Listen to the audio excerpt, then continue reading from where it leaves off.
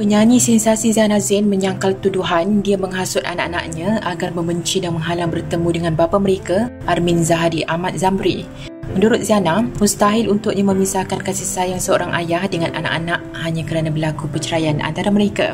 Saya terdengar cakap orang mendakwa saya tidak membenarkan anak-anak bertemu dengan bekas suami.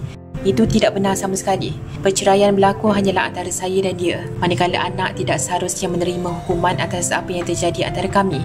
Jujurnya, saya sering bertanyakan pada anak-anak apakah mereka ingin bertemu dengan bapanya. Saya tak mau mendera emosi mereka hanya kerana perasaan dendam atau amarah terhadap bekas suami. Cuma untuk masa ini, anak-anaknya belum bersedia dan memerlukan sedikit masa untuk bertemu bapa mereka. Saya faham perasaan mereka dan jika satu hari nanti mereka menyuarakan hasrat mahu bertemu, saya akan mengizinkannya.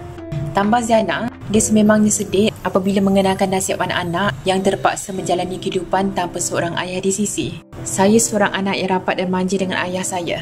Justru itu, apabila mengenalkan nasib anak-anak saya sendiri yang terpaksa membesar tanpa ayah, saya rasa sangat sedih.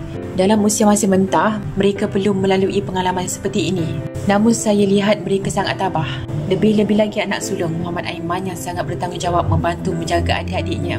Doa saya semoga kami semua dilindungi dan cekal dalam lempuh pelbagai ujian yang mendatang.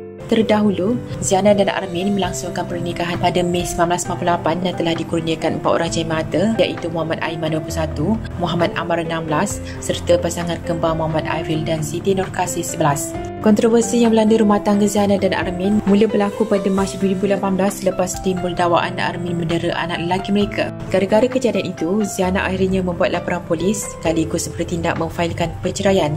Armin menceraikan Ziana dengan talak satu pada Julai tahun yang sama.